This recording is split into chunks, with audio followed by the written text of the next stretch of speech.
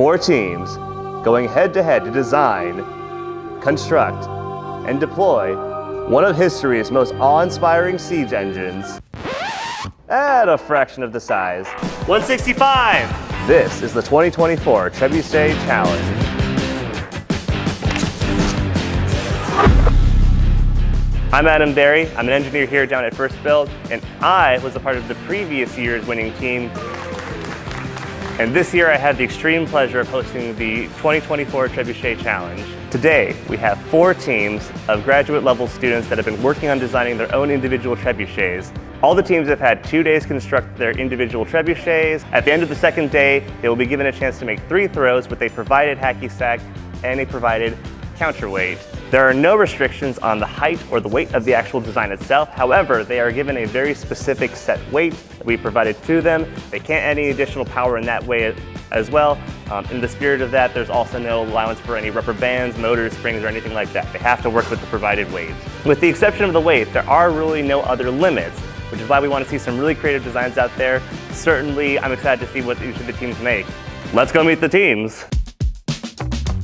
Yeah, we're we're gonna do traditional and basic kind of off the winning uh, version of last year's because it won. Uh, so I'm working on calculations to make sure that proportions of like the arm for the counterweight and the arm for the sling are correct and will give us the most launch. No, we're doing the typical trebuchet design for this. I think it's simpler and will be easier to implement and then be able to do a lot more changes. Lightweight on the front end, heavier on the back end. I'll probably go with some fishing wire as well, so we, uh, don't have too much too much weight, no, no more added weight. Reduce the drag. So uh, we're doing a like free arm um, trebuchet.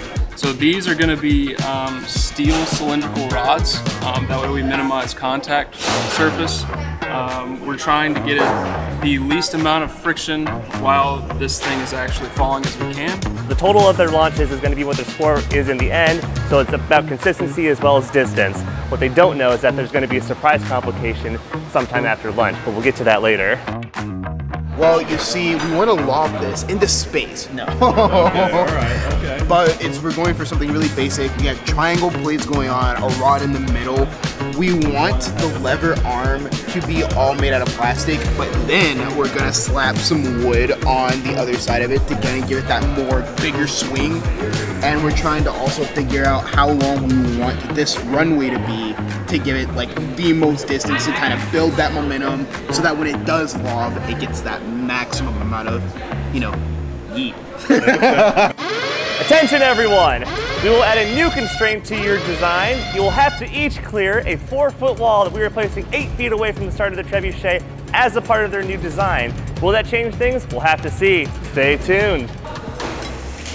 Thoughts? Our team's gonna win because our secret weapon is our counterweight design and the zero uh, friction that we have. We were already planning on going way further than that and way higher than that, so we should be okay. Yeah, we should be fine. We should be shooting it well over four yes. feet high, even though she's almost barely taller than the wall. Listen, I'm a goalkeeper. I was the wall. So uh, I'm not really feeling intimidated about the wall. Our trebuchet is designed to go up and over anyways, so we're not cutting corners. We're not trying to roll this thing, so we're in the we're in the green. honestly, that wall, that's not an obstacle. That's just another Tuesday for us. Our launch height's higher than the wall.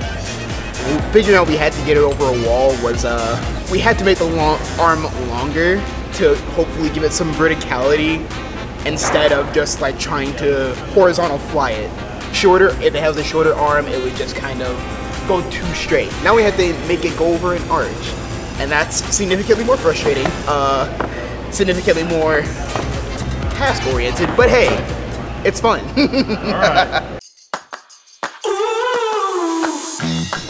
I over I overslept because I'm not worried at all. We're a little little heavy on the front arm, so we're not we're not able to create, create enough velocity to throw the sack far enough. So it's coming down to the wire. We got to figure it out in a couple hours. So we'll see what we can do. See what we can come up with. Our team, we we really need to uh, to make this a smoother connection between uh, this metal piece and the rod, um, just to have a, a cleaner interaction. The screws are abrading this these metal sheets. I mean, you can see the you can see the, the scratch marks on here, especially near the end. So we got to find a way to file these down ASAP. We are running out of time. Trying to do in the last minutes here. Uh, so we're, we're trying to secure this um, roller right here because it's not stable. Other than that, I think we're good. We're stable.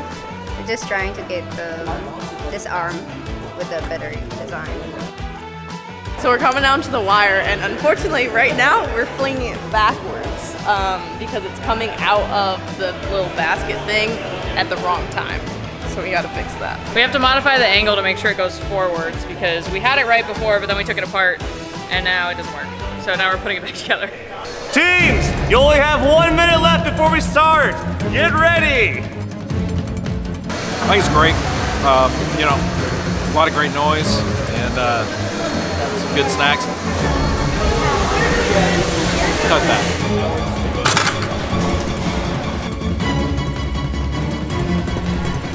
Oh yeah, did you see it just chip the brick? It, Yes! I'm standing here where each team will get a chance to set up their trebuchet and take three shots down this area. We're sitting in a nice, open, well-ventilated land where there's no chance that they could possibly hit the ceiling. Each team will do three shots, put the score together, and that'll be the total tally, the totality of their score. So it's important that not just it's good, but that it's consistently good. And remember, we've got a four foot tall wall that each team is gonna have to overcome. So let's get started. It's spinning. Who's going to go first?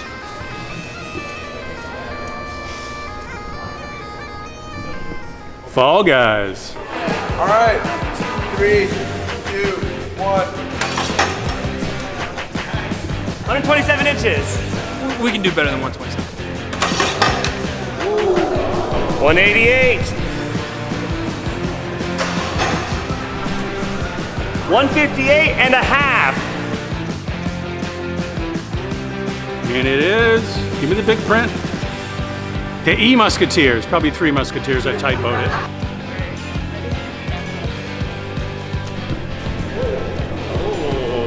One sixty-five.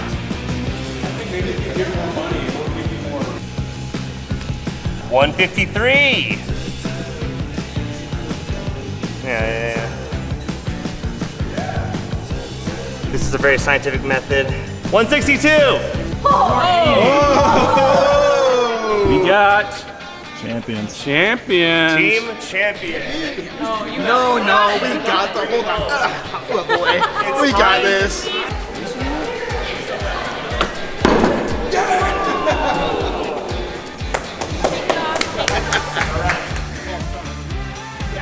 Never.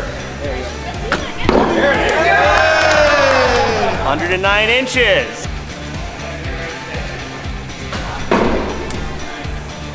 117. Gotta wait for the spinning wheel. It is perfectly balanced. Oh, it is perfectly balanced.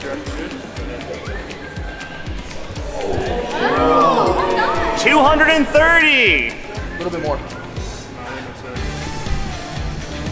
186.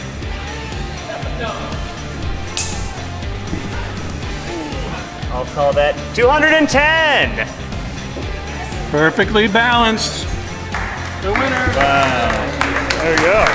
Well, Squeezed together, champions. We worked minutes and minutes. Ah, very, very undeserving. And you all passed. No that was homework. that was the final exam. Awesome.